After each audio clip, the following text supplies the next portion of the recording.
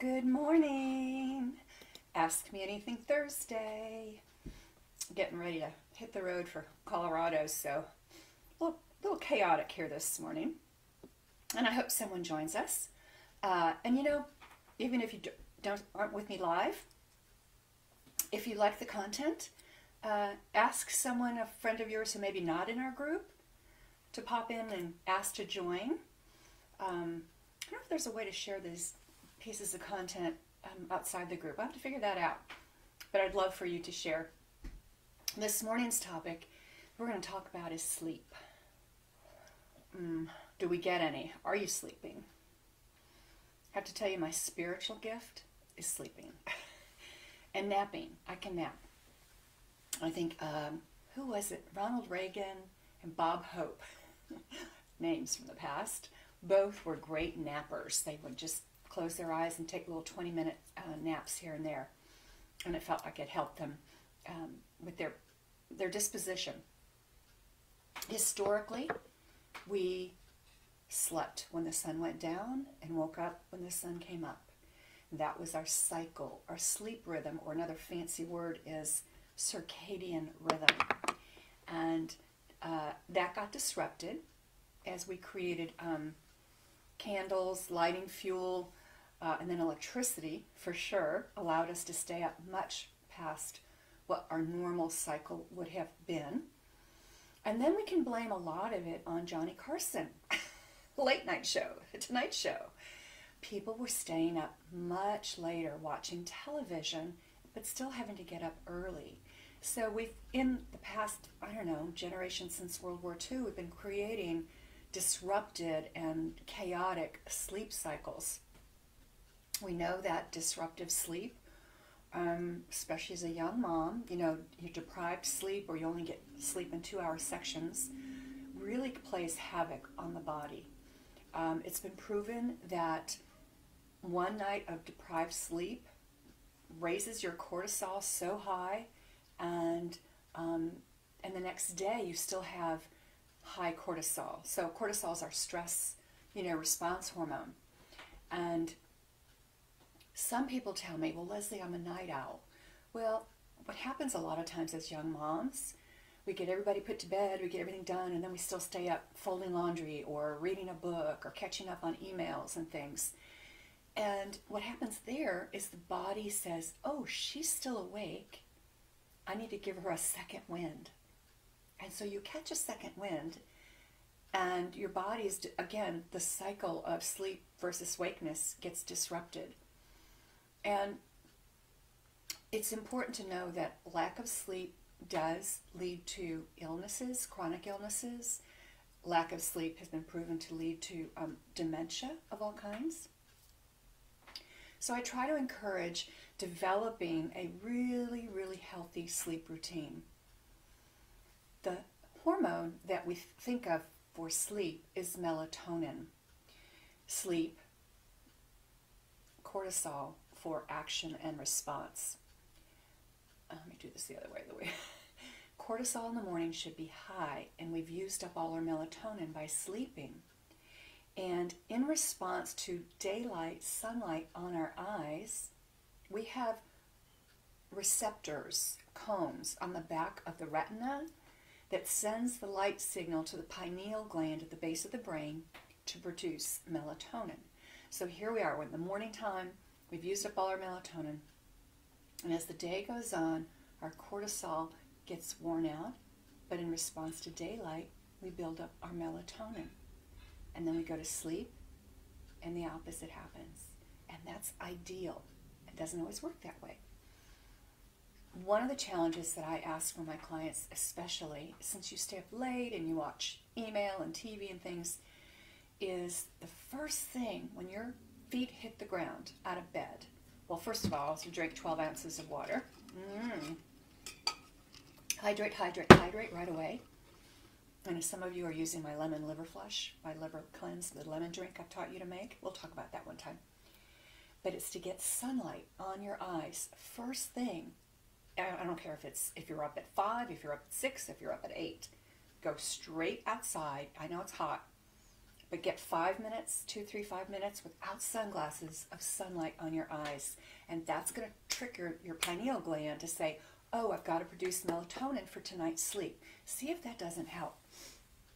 Um, we think that our that because the timing is is off for our sleep routines we need to when we talk about it build a sleep routine we do that with our children we have supper we have a little playtime we bathe them we have story time we sing to them prayer and go to bed just as important for us to have a sleep routine and so um, i don't know that we could do it every night i certainly haven't had a hot bath oh i had a hot bath yesterday I came home really tired and stressed out, y'all. I don't get stressed very often, but I had some disturbing news. And uh, I had a lot of anxiety. So I took my hot bath with my magnesium flakes and my lavender scented CBD Epsom salts. And I'll show you where I get those too. I'm putting together a resource list. You know, a lot of times you can order things from me, through me, through Fullscript, but there's a lot of products I recommend all the time. Um, for Amazon. So I'm trying to see if I can get some credit from Amazon. Anyway, get into a routine. I do have a friend that takes a hot bath every night. That's been part of her routine. Um, dim the lights. Actually, duplicate sunset in your home. It used to bother me because I felt like darkness was depressing, but I know now that by bringing the lights down, I'm getting the body ready for sleep. Um, got to have a cold room, got to have a dark room. Invest in blackout shades, blackout curtains, a sleep mask if you need it. Um, but that's the ideal conditions for it. Now, I have had clients that say, Leslie, I stay up till 12, 1 o'clock. How, how am I going to do that? And I said, for one week, if you're normally in bed by 11, set your go to bed by 10:45, just for a week. See if you can't make that 15 minute shift. Then the next week, see if you can't make another 15 minute shift to 1030. You see, according to um, Chinese medicine and ancient medicine, our body organs all have a time on the clock. And one of the cr- critical organs um, is our liver. And we talked last week about detoxification and autophagy and how things happen at night. Well, if you're waking every night between 2 and 3 or 2 and 4, right around 3 p.m., 3 a.m., that tells you that your liver is being called upon to produce and release uh, glucose. Because while you're sleeping, your brain's still working, your heart's still beating, you're breathing, and that all requires energy. Energy in the form of glucose that the liver releases so that it, the body can keep going. And if that's happening a lot, we want to say, okay, we, do we have too many? Are we taking too many meds, alcohol? The liver's having to detox, or could it be you're having kind of a hypoglycemic moment in the middle of the night? Sometimes it would require mm, a quarter of an apple with some almond butter, just a little, or a cracker, just to kind of keep the liver uh, and the body um, fueled for the night. Also brings up the topic of um, sleep meds. Now, y'all, I had a client that was, I've had two clients that have said, I've been taking Benadryl for 10 years to go to sleep. Practitioner's nightmare. Oh, I just can't tell you. Or Ambien. You know, any of those sleep meds that have really serious bad side effects. They d- deplete your body of nutrients, they damage your brain, um, con- clog up your liver. But we do have some nice alternatives. You could take a little bit of melatonin. Uh, during this COVID period, my physician has recommended a melatonin with B6 in it, not for the sleep aspect, but for the antiviral um, capability. And if you're interested in that, drop me a line and I'll set you up on Fullscript. It's a melatonin B6 from Biotics Research. You can also try um, some CBD. CBD is very effective for sleep. This is the company here in Dallas called Thryv, T H R Y V, organics.com. And you can reach out to them. I have a code for folks. I think it's Redeem Well 25, something like that. They have a money back guarantee, by the way. You buy any of their products and it doesn't work for you, you don't like it, they send you your money back. You don't even have to send the product back in. But they also make a gorgeous bath bomb. So, again, to help you relax. um, some salves, uh, gummies, if that's your option, and gummies for dogs to calm them down. So this is a product that's in my home. There's a couple other things from Biotics Research and different companies that um, this one's called Alpha Theta Ultra. It's herbs and it's amino acids. There's nothing medicinal, pharmaceutical in this type of product. Now, being that said, this might not work the first night. This might not work the first night. Unlike a Tylenol, which kind of works immediately, or a Benadryl, your body has to say, Oh, I like this, I'm going to use it, and we start using it and incorporating it. Uh, if you're interested, two of the books that I really like is Why We Sleep, Unlocking the Power of Sleep and Dreams. This is kind of this is kind of heavier, a heavier read, and I look at it and thought, I don't, I haven't really earmarked it, put yellow marks all over it. This one, woohoo! Lose weight, supercharge your energy, and transform your health from morning to midnight. The circadian code. This one is earmarked and highlighted everywhere. And so, if you're interested in a read about sleep, these are two that I recommend. If you would like to try Thryv Organics, that would help with your sleep. Great drops under the tongue, um, anti stress, anti anxiety.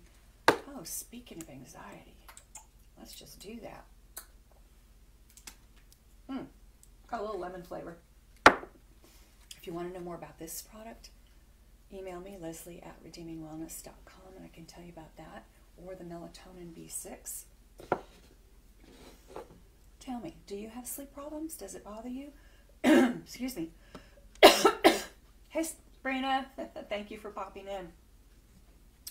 But I think sleep is important overall. It's very anti aging, which is, you know, we're all going to age, but it's how we're aging, right? And getting a good night's sleep is so important. Mm-mm-mm. Reach out to me. Um, send me some suggestions for next week. Ask me anything Thursday. I'm going to be in Colorado, um, but I'll have Wi Fi and my iPad, and I think we can do this successfully. I've so enjoyed being with you all every week, and I love the suggestions um, for what to talk about. So until next week, signing off, Leslie with Redeeming Wellness.